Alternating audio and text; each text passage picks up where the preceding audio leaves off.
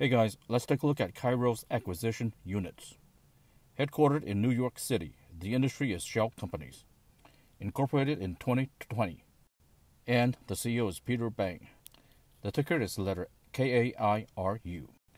Current share $9.89. Market cap 341.2 million. And here's the historical stock price. Enjoy learning about stocks just like me? Hit the follow button and we can all learn together.